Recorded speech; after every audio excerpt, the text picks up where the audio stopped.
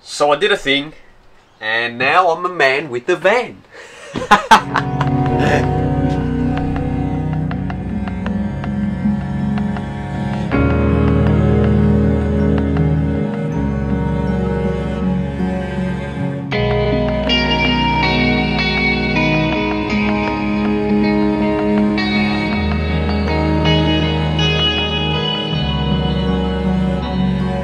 Right, so why did I buy this van? If you don't know, this is my little project. So, well, big project. I'm actually really glad I got it uh, sort of half done up because, well, half the work's done for me.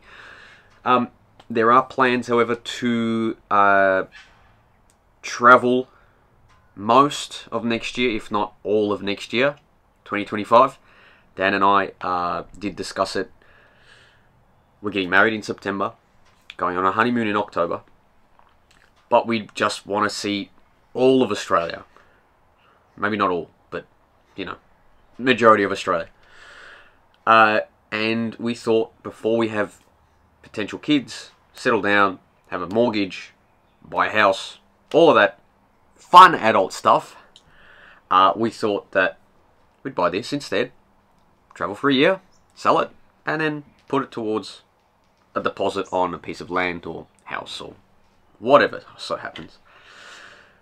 So that's where we're at. That's where we're at. Uh, I'm very excited. Very excited. This year we're gonna go on some small trips. Uh, we're gonna go stargazing. I do want to get into stargazing photography again. I did take some snaps last year. Really loved it. Um, but the issue is driving at night which I wouldn't recommend and I don't want to be doing. Um, that's where this comes in handy. Bed's going to be there. Um, just sleep in the van for the night and then come back in the morning. Easy. Easy. So that's going to be happening. There's going to be small trips this year and I'm going to be doing up the van. Uh, and I'll be vlogging it, as I said. A few episodes to look out for in the near future um, is getting drawers done at the bottom there, um, beneath the bed. The rails are there already. Um, just got to actually box, you know, the, the wood's already cut. Just got to box the thing and screw it all together, put it in. That's it. Happy days. Um, right, actually above, right above the bed, I'm pretty sure we are going to put. Uh, a fan, roof fan. So that's going to be another episode um, when we get a nice day. Not looking forward to that, but uh, I'm a little bit nervous about cutting a hole in the roof of the van, but hey, whatever. Uh, and, oh, that's right. And right here, what I'm sitting on here is the bench. Um, right here, there's going to be a sink.